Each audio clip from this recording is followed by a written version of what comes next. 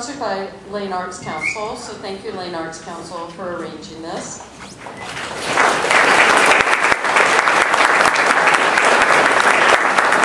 And the museum, of course, because this is just a prequel um, of our major exhibition. And you've probably seen the catalog on the side. Um, Rick Things You Know But Cannot Explain. This is my new book. Ken, going fast. Going really fast, so get your copy while you can before we have to reprint this.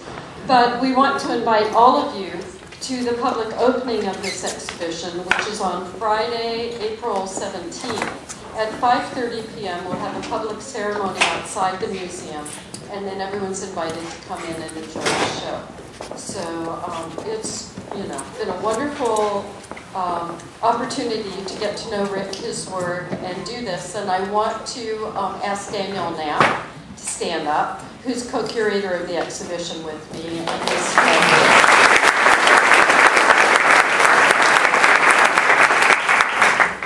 Okay, so in no particular order. In 2013, the Oregon Business Journal profiled Charles Froelich and called him one of the city's iconic gallery owners. Well, he's that and so much more. Charles dreamed of being an artist, and in his own way, he is, I think. In everything you do, it's the way you live your life, right? Um, he attended the University of North Texas and received a BFA in sculpture in 1991. He also um, worked in the Hiram Butler Gallery in Houston, and I think that was a life-changing opportunity when he realized he really loved the kind of work there, connecting artists to um, people who would appreciate their work. Um, he worked with Hiram Butler full-time until moving to Portland, where in 1992 he began working at the legendary Jamison Thomas Gallery and met Rick Bartow, just right away. So after William Jamison's untimely death in 1995 from HIV complications, Charles opened his own gallery, and I hope all of you have been to his gallery, not surprisingly called the Charles Froelich Gallery in Portland. And Rick was the first artist he presented. Now, he's even told me that Rick is his favorite artist. So I hope that none of the rest of you are represented.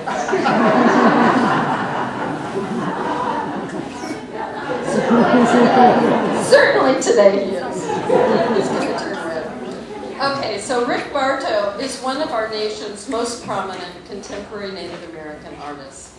He was born in Newport, Oregon in 1946 and is a member of the Wiyot tribe of Northern California. He has close ties with the Siletz community too.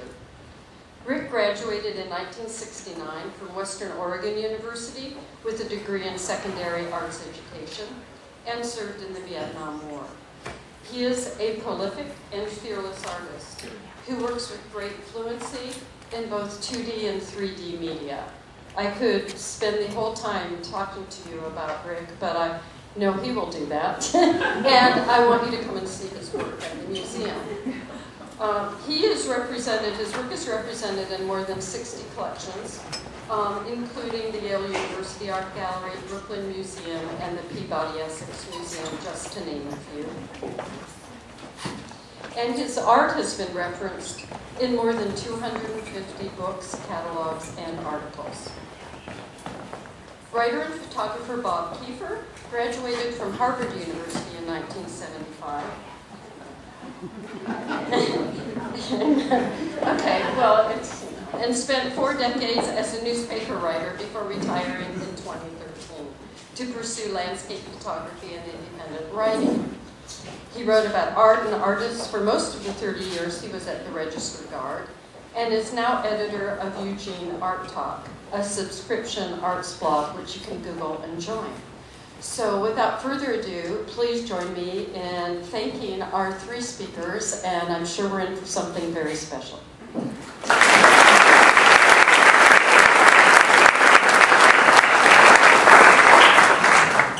Well, uh, yes, thank you all for coming. This is thrilling to see like practically every seat in the house occupied and more people wandering in.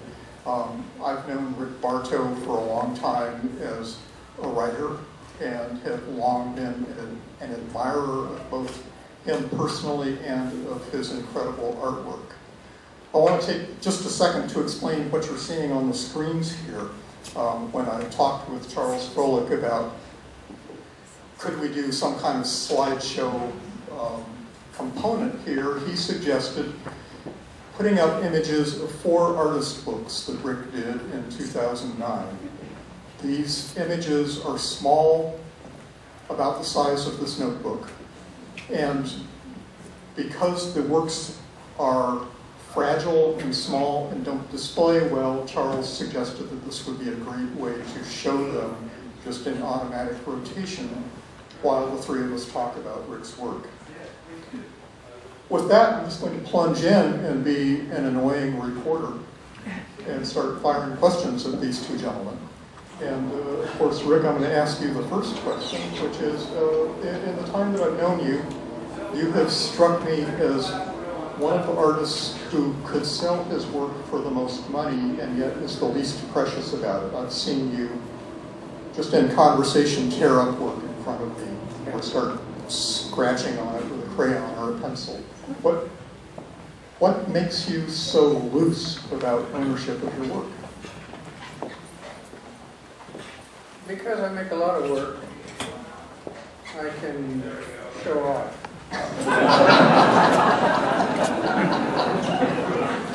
I think that's probably true. Well, tearing up your work in front of a reporter is a form of performance art. spent about two or three hours with a class at Mich- Michigan at uh, Kalamazoo, Michigan, is right? And uh, talking about, you know, the- the, the importance of word, of art for the students to be aware that now is the time for that secret language that young people only know. And old people have had our magic mission moment. Get out of the way. Make room for young people who are starting to find a new language of art, of thinking.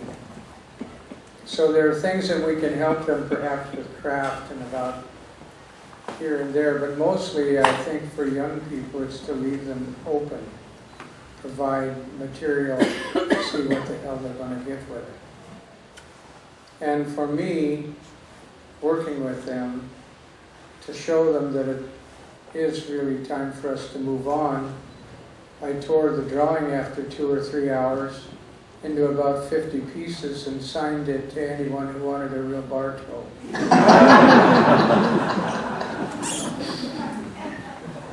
It, it really is because I can make a lot of work. But there's more to that, and that is that the moment that I'm working is the part that's the best. Uh, I really don't feel comfortable sitting here with you. I just as soon be home, uh, because right next to me is the co-op that has the coffee and also chocolate. Um, So, to make art is a sacred sort of thing. But as the old Aber- Aborigine elder, one, one guy that I heard talking, he said that when he's done, the prayer is over. The work is a byproduct. He could use it to start a fire. Because the important is the creation. Let, let- let me pull Charles in here. Nah. Yeah, the- the- um, It'll only muddy the water. It'll be interesting much. I, I, I, this is actually literally the first time I've interviewed an artist and a gallerist together. And so I want to know from Charles, what is the role of a gallerist in guiding or nurturing a visionary artist? think there are a variety of ranges of work that a gallery can do for an artist. And if it is, well, what I do is represent artists hopefully long term. And I want to have their work have a catapult into more visibility outside of their home, outside of their studio, outside of their hometown, outside of their home state. And that's one of, that's the work that I do for the artist. But then to encourage a visionary, I think we have to be comfortable. Uh, It takes time. Um, Saying yes to work with an artist a long time, long term, means, it's like a marriage. It's, it's a very special, close relationship. And people come to me to ask all the questions about the artist that I represent.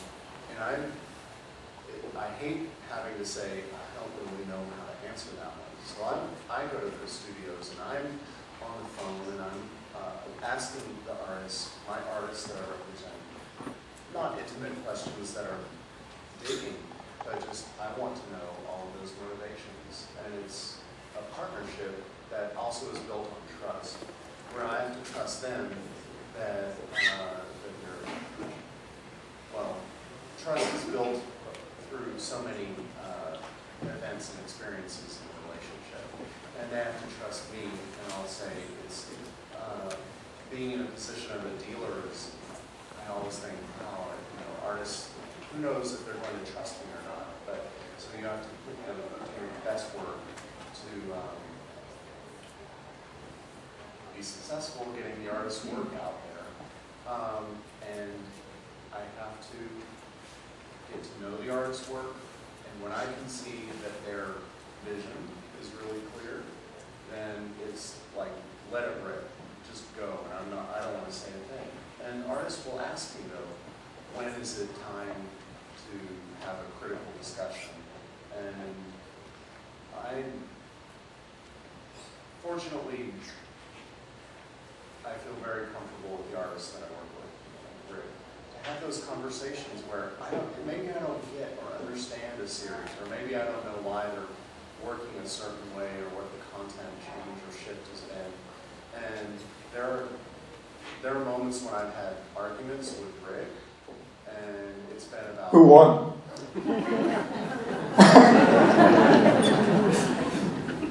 He always does. But it's a, you know, once, you graduate from college or have a, you have a studio, a critique group with friends, there are moments when it's very difficult to get an honest um, cri- criticism of like, you know what, you need to learn how to draw people better, or you need to learn your color wheel better, or you need to learn how to handle etching or paint better.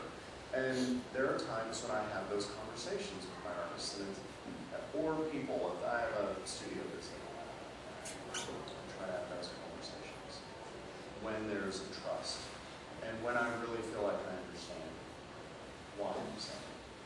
Is that? Well, Rick, um, you, you have said many times and in, in many ways that you channel a kind of spirit in your work. I think my, my favorite quote from you is that the spirit flows in one ear and out the other and you try to grab hold. So how, how does a person arrange their life so you have even the slightest chance of grabbing that spirit?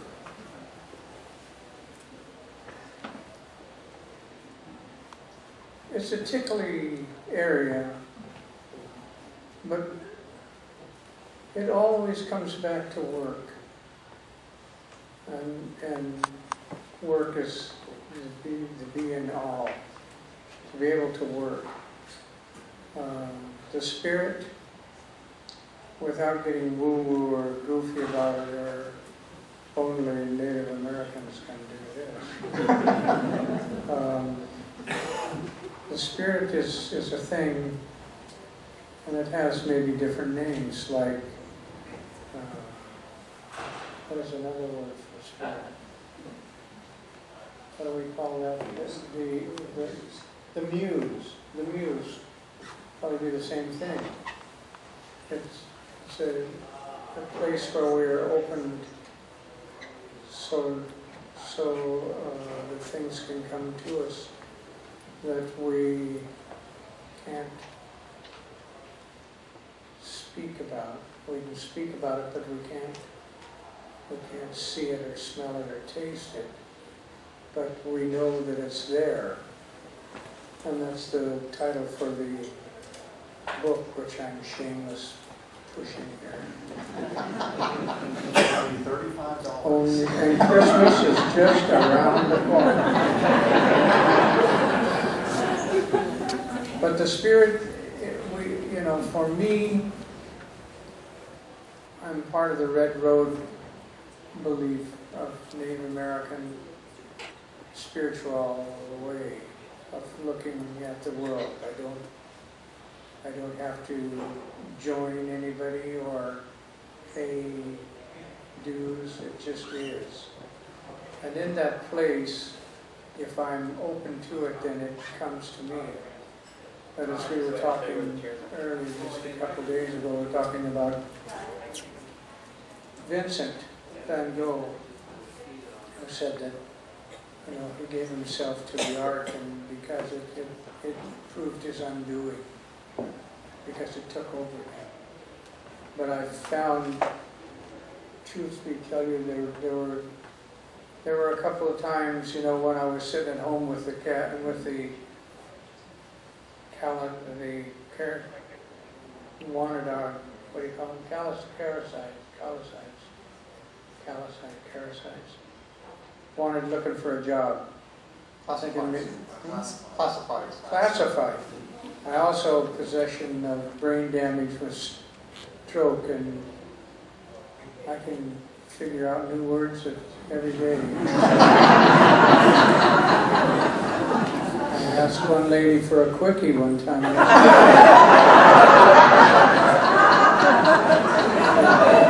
It got even worse when I turned right around and asked her again. I go slow and sound a little slow because I have to be careful not to tell that story twice.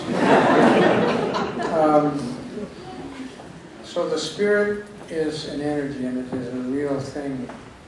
And the more that I welcome it and make myself available, the more color blows off into the paper. And I don't worry about it.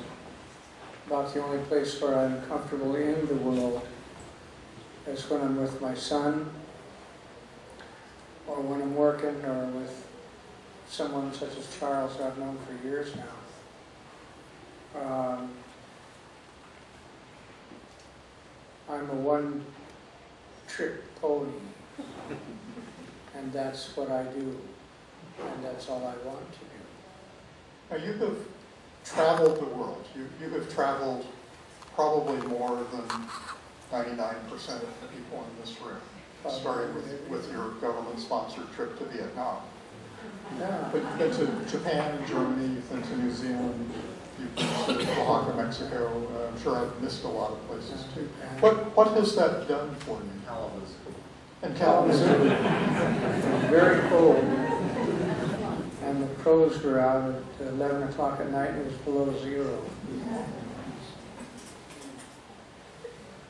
What it does is, I was absolutely ecstatic when I came back from a few of those trips, to find that it's true what people had said, that as people, we are more alike than different. And move, It was a wonderful thing to find that I was figuring out how to communicate with a Japanese farmer on the west coast of Japan, and up in the top of the uh, Japanese Alps. It's now a, a ghost town where I was there three years back, working in a ghost town, because the uh, last big earthquake had rendered the place nothing.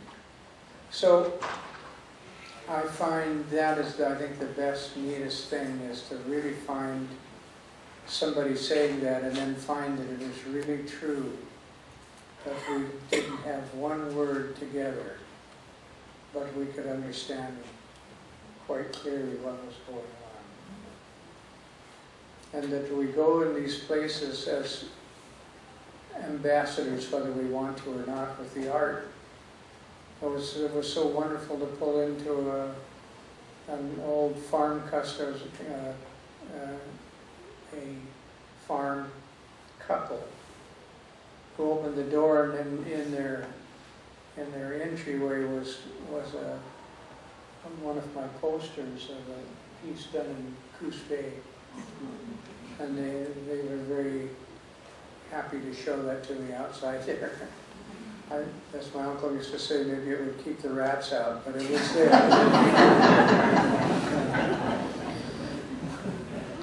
Charles, oh, go on.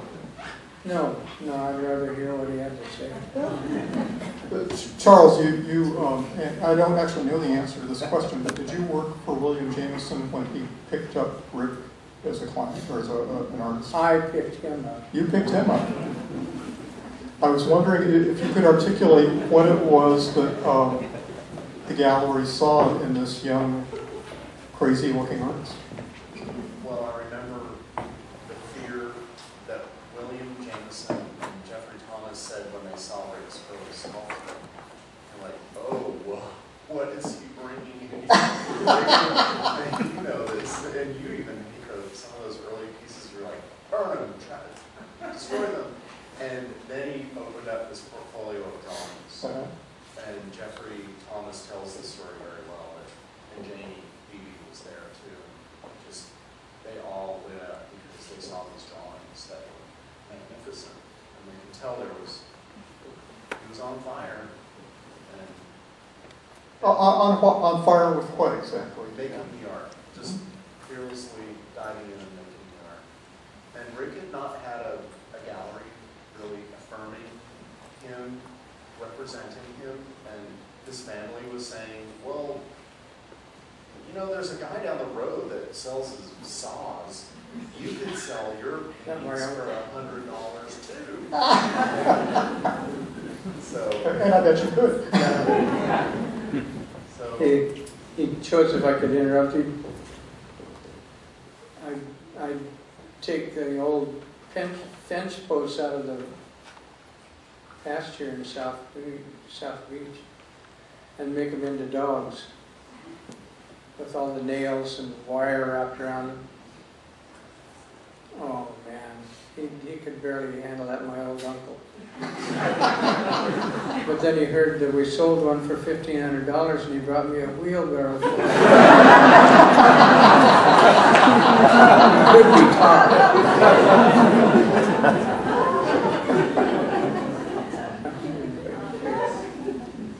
Also, um, a, a lot of your work is, is very expressive uh, to the point that it almost seems out of control. And obviously, some of your early sculpture frightened the, your gallery. So, but you also do these very finely controlled prints. What took you in that direction?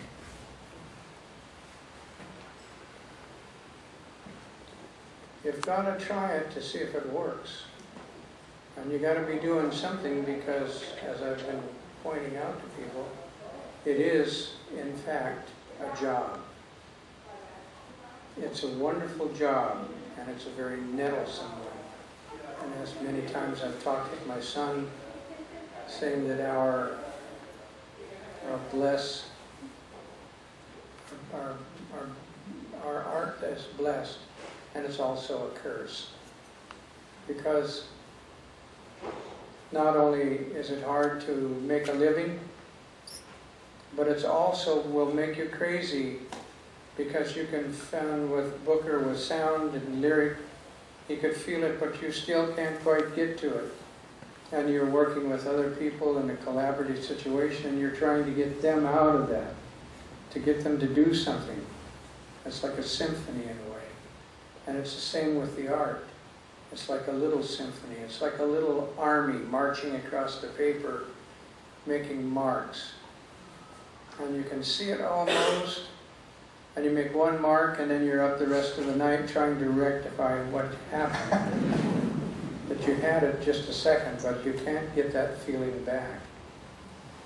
You're back to the spirit again, and you're back to working, working, working, working, working. Nobody cares because nobody's seeing it that you're doing it, working, working, working. So between you and the Spirit and you and work, there's nothing.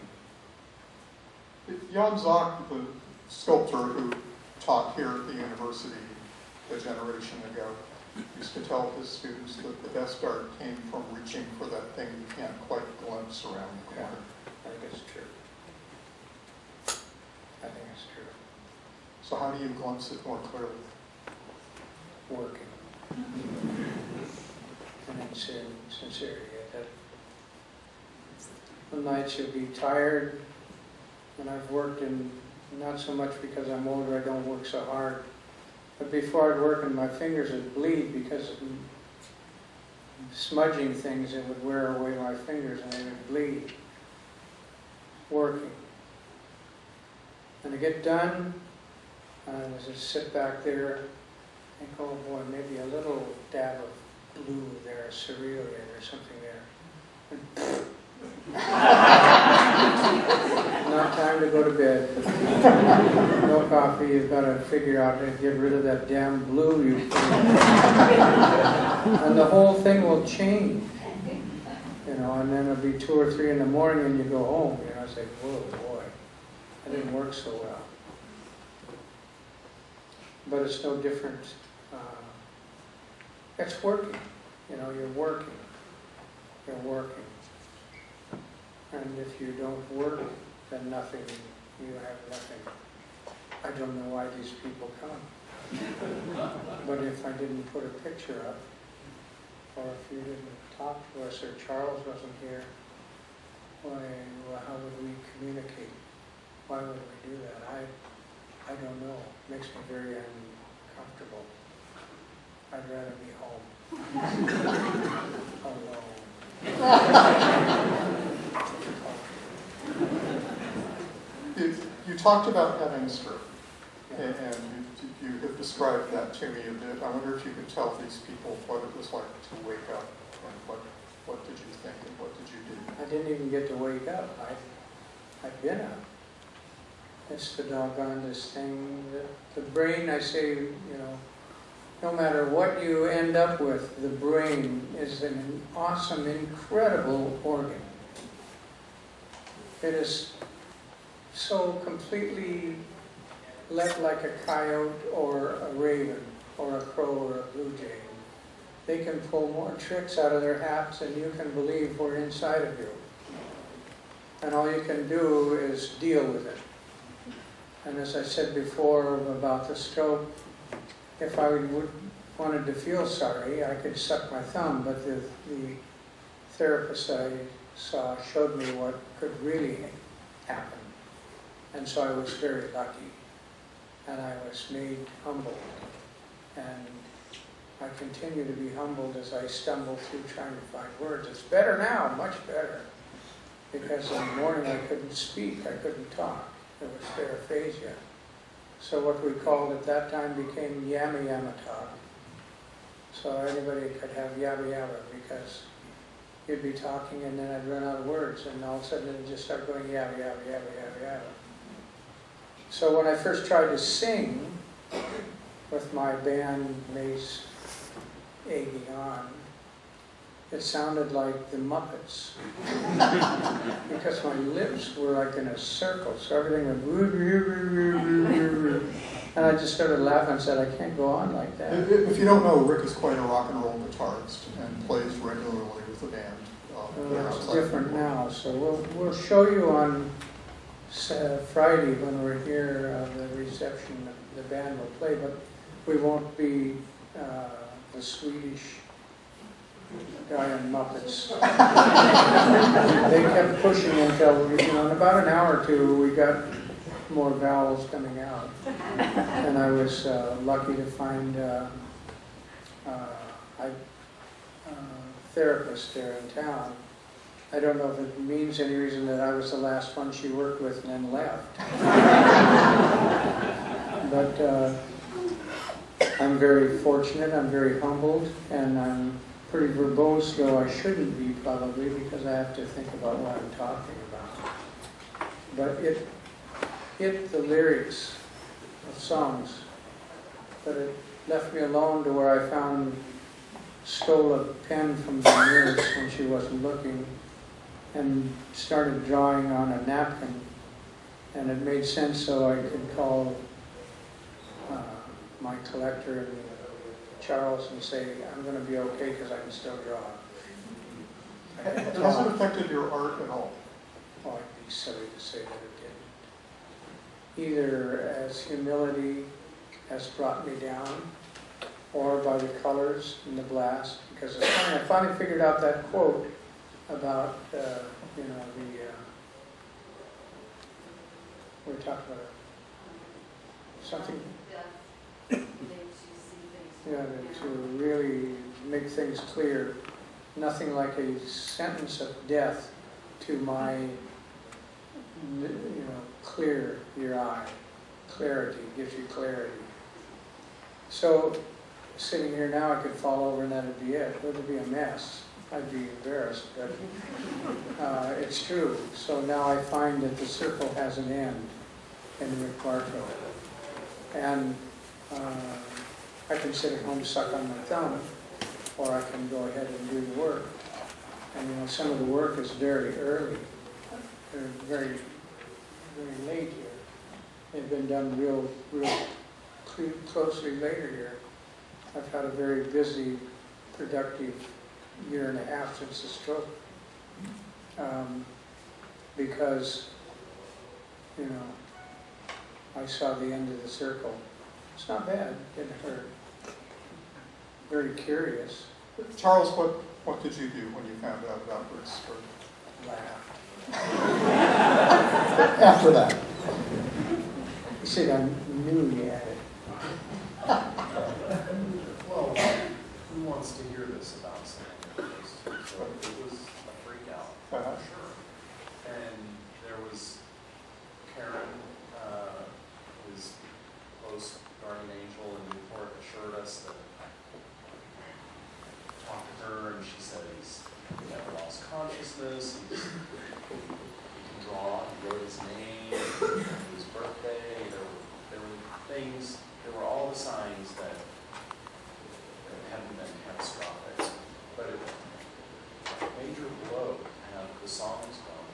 And our said to me very clearly, they can take my words, but Hope take my hand. And Rick, you know, I, I came to see Rick the day he got out of the hospital, three days after the stroke happened.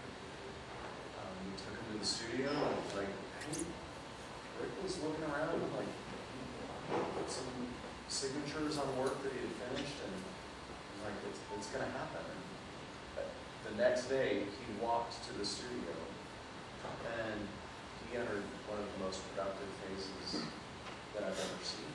And it was experimental with scale and media and color, and subject, and so the, that narrowing, Barry Lopez says, the horizon line getting closer, Rick has said the clock is ticking, you know, it's like, well, better make it now. And the artwork has been fearless, and Rick is, I mean, you've been very productive. There are all sorts of artists. Jim Lavadour says like, it always makes him feel like a slug. I mean, this is, he said that for years. Well, he- Rick's incredibly productive, Yeah. has. And so this, every, every two weeks, Bill Avery, a friend and collector, will come in and he'll pull his car up and point at the back and it's full of paintings and drawings. And I'll come over to see Rick and it's like, I fill my van with paintings. He's just constantly, he's been working. But Rick, what do you do when you hit dry spells? I don't You don't? Why? Yes, you work. would. Rich would used to hit Rick. Yeah, no, I don't know what I do. Draw but dogs. Kick little, little, little dogs. Neighbors. No. I, my brain is always working, sometimes I get too many things in. And I end up sitting in the chair staring with, because I got too many things going on. And just to litigate one out, you know, it seems to be difficult. So after enough sitting around or thumb sucking, then what I always used to call it to the younger people was to go to the studio and clean it up. Even if you're not working art and you're cleaning up the studio, organizing things, then you're available for the spirit to visit you once again. So uh, I don't tend to, longer now, I don't, don't worry about it because there's always something to go. But here, when we started the, the prints, print uh, program here last week, I was just kind of hanging out. I didn't have any paint canvas, I painted all that up. I was thinking about some drawing, but I didn't really think it wasn't quite was going to work right. So I've been going around and around looking at these pieces of paper, thinking about something else I was going to do. And then along comes the dried prints for Seiichi Hiroshima, the, my Japanese printer in Tokyo. And Mika, Mi- Mi- Mika, Mika, Mika here, I met her on Sunday, she drove over to the coast and brought me some uh, copper plates ready for etching. And so I was saved, so I had stuff to do there again. But now I'm back to nothing again. So when I get home, I'll have to figure something, I've got a couple ideas. And then, um, recently I found that I had macular degeneration. Uh, So I was going blind two weeks ago, which will make you sit right up like a stroke almost. And all I could say was shit and sit and see what was going to happen. So I've had my first shot in the eye and it didn't hurt, so I'm looking for another one before the reception does here um, to arrest it. So it's a little skewed, but I can read, uh, can work. I can't do small things. Even that, though, we, we did pull some off on those little bird beaks. They, they stayed in the lines. And so it's always a challenge. I can quit and just sit home and say, well, I'm blind. Well, let- let, me jump, jump in here with a question off of that. Obviously, you, you, you're an older gentleman, like, like myself, um, and you, you had some, some serious health issues. Does that clarify your plans for your artistic career, for, for what's next? Keep working. It all works for denial after a while, you know. Don't think about it as much, keep working, but you find something in there to do. But I've yet found it that just stopped me. I know, uh, I have no blind sculptors, painters. So in thinking that while I'm sitting at the ophthalmologist place, I was thinking, uh, may have to try something else different. There's always something. There's something. The thing that can blow you out is if, if that strike, you know, that stroke, stroke TKOs, TKOs, you know, well, that's something else. But so far, it hasn't hurt, and it's been weird. I kind of like weird. And I live in a, in a, in community that'll laugh with me. So, uh, you know, when I'm talking about something and completely shift gears someplace, they just laugh.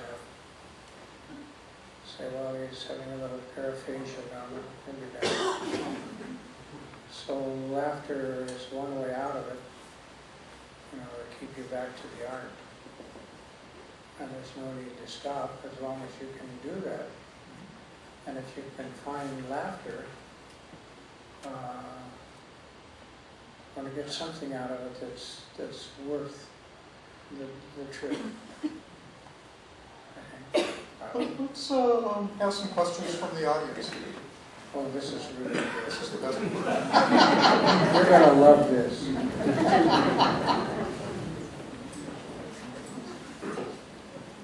Oh, they're all on their net. Everyone's too shy, okay. Um, this is actually for the gallery. I was wondering, have, has Rick ever brought that you didn't, The, the, the question is, uh, for Charles, has, has Rick ever brought in work that you didn't use? All the time. So, I, I referenced an argument, there, were- we had one big argument, and, but, uh, It it is a marriage after all. yeah, I mean, you, you figure it out, and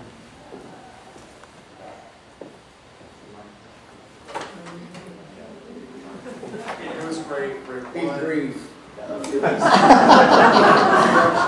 was like, I didn't, I, uh, it was once, one time Tokyo. of that. That's the only one that was reminded.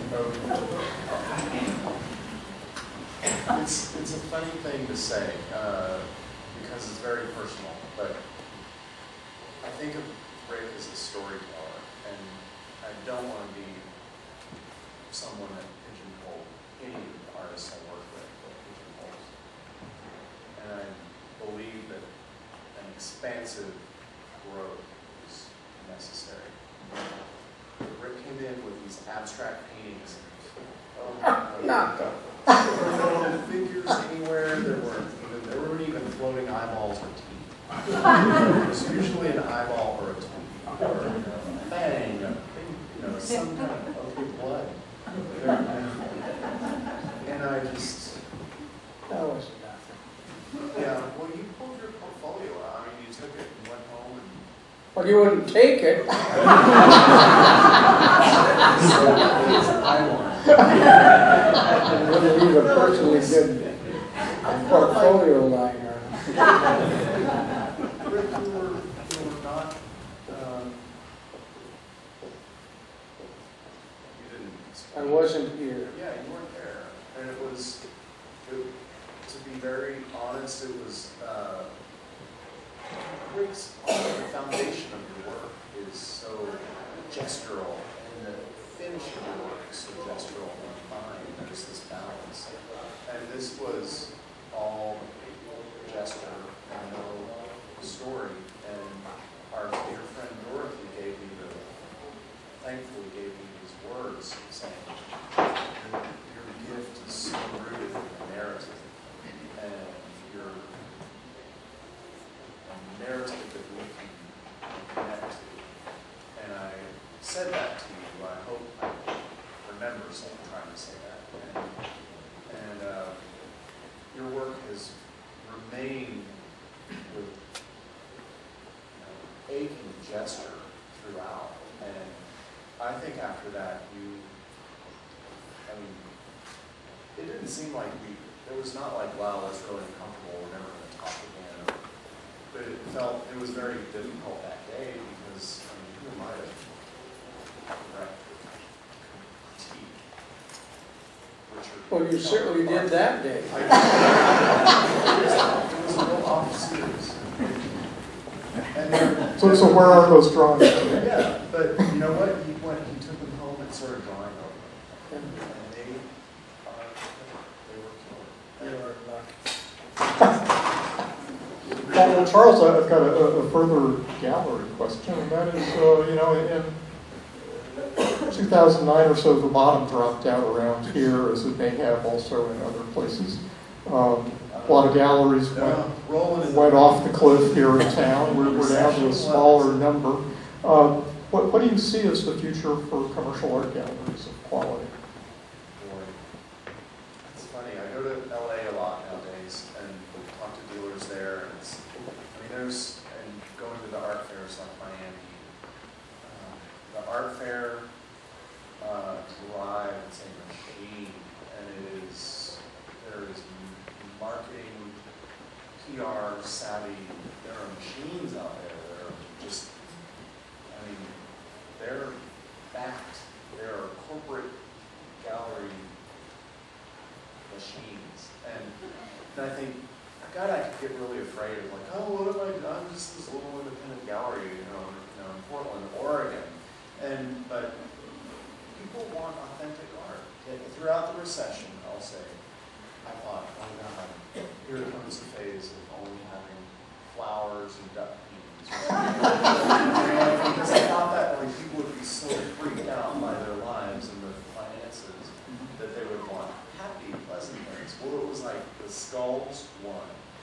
Really, know, bloodletting and people like little old Lutheran altar ladies were coming in and buying death paintings. Uh, it was like, okay, they went, people went for it. And I've always had a tough edge, I think, to the gallery. There have been a lot of narrative artists or volunteers in the gallery that, that are tough. And um, it was hard, for sure, but, and we sold a lot less work. We sold less expensive work, but it was still gutsy. Any more questions out here? Uh, This gentleman in the back here. When you're working your images, your iconic images of birds and coyotes or wolves and people, are these imaginary images you're working from, or photographs, or sketches, or models?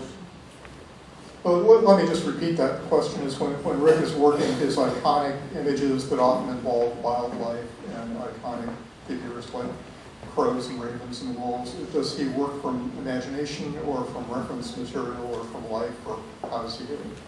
Actually, it's a little amalgam of, of everything. I have a, uh, what do you call that, a morgue. I have an old morgue, which is a old tin box that's full of everything that might have caught my eye, tear it out of a book and put in there. But, and also, in truth, where the drawing studio is, are completely uh, filled with bird species. species. Uh, great horned owl, eagle, bald eagle, hawks, small birds, ducks, waterfowl. We live on a, on an estuarine area and also a whole bunch of uh, beaver dams up behind the place. So there's also bear, coyote, elk, deer. So a lot of these animals, you know, you can see them when you're living there. And so it's not a big stretch to say that they become that way. I'd rather do that than uh, doing blue bottles or something. I, I, I find delight in birds, animals. Um, um, I like girls, you know, so I don't do nudes because I spend too much time on a piece or two, you know. So, so I don't much do that. I, I do a lot of birds and animal forms and mixing them up. I used to think that was really uh, Native American, but if you look at Bosch and Bruegel, you see animals with heads on people. And then if you go even further back into the caves, you find the great birdman uh, drawing with a, a bird head on its head. So it's, the circle still spinning. When- I uh, visited you at your studio some years ago, you had just acquired a bunch of moth-eaten taxidermy specimens from somewhere, and I'm still having nightmares about that box. Yeah. Well, I made one into a museum, museum piece. Not much else out of them, they were laced with ace- arsenic. Ah, But, uh, You had a question. I saw your smiling face. See, I like You- you- good, good question. Good, good choice. So, um, I'm a printmaker, so I'm really curious about, I'd like to maybe really talk a little bit about your experience with printmaking, and, you know, printmaking is always so sort of removed from direct control, and that, you can talk about that experience for me, or why you're drawn towards printmaking, or? Print- Printmaker Tally Doyle wants Rick to talk about his involvement in printmaking. Yeah, anything along those lines that you want to share. Well, there is a magic in the sameness. I couldn't draw a same, you know, a straight line if I wanted to. In the drawing process is I can, I can technically cannot or wouldn't want to bother to draw two drawings that are the same. But there's something magic about ink and lines and great pressure, and you come up with an, an image. And an image, uh, there's something really interesting it, uh, looking at ancient uh, her, her prints when you're looking at something or a Rembrandt that's hundreds of years old, and there it is, you know, it's been restruck, but it's still Rembrandt is there making that mark. I have some small prints, and not of Rembrandt, but of older pieces, that I think of them as college classes to look at those small pieces. I have one that I particularly like from 1700s, I think, maybe the 1800s, but uh, a very sweet lady who is a countess. And in the time of the, what do they call them, the Grand, it's like the dra- dra- uh, a- a- traveling The Grand Tour. the Grand Tour, and it was the snap, snap Polaroid of these little drawings and general little water things. That was by her husband or a friend who was on the on the same trip, and so I had this little thing, beautiful little drawing, little washes and things in there, and I think of it as a as a complete a complete amid, uh, an amid, I'm getting tired. It's a complete college class of line and, you know, everything that you need to learn about is in that little picture of a little quick shot. I think we might have time for one more question here. Someone back there in the baseball cap? Anyway, um, you had a show, I believe, in Oaxaca, and I'm wondering if that experience in a gallery touched on Mexico quite a bit. If you felt a special spirit kind of feeling doing something like that in Oaxaca, can you compare it to a more urbane type of gallery? Well, the the question is from painter Richard Quigley, who noted that um, Rick has shown his work in Oaxaca, Mexico. He wanted to know if there was a spiritual dimension to showing there that was more obvious or prevalent than showing in an urban setting in the U.S. Really sort of the opposite, opposite, because I have a cousin who's married into a Zapotec family. And they were very reluctant to go to the exhibition of the Yankee, having set mind of that. And they were quite amazed when they saw the exhibition. They were very happy. Come back and have more food with us. You are a real person. Mm-hmm. So So, so there was a spiritual dimension, but it didn't weigh initially in your favor. Yeah. And the paper, I think the washi in Japan, the paper, again, the paper has a spirit of its own. And the marks have their own. Have you ever tried to make a simple calligraphy mark with a brush and? And it looks so flat, you know? And when somebody's really working, it's just alive, it vibrates, you know. And in talking, when you're speaking from that place to another person like that, then I think it's back to that again where we are more alike than we are different. So that when people to people come together, we don't have so much trouble. You know, when we touch from this place to that place what the doctor man calls that sacred place. I think that's a perfect point to wrap this up for the evening. I want to thank you all for coming.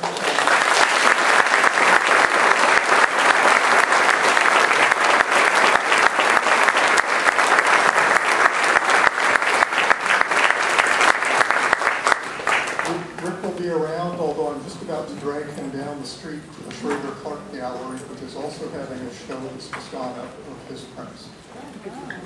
Thanks.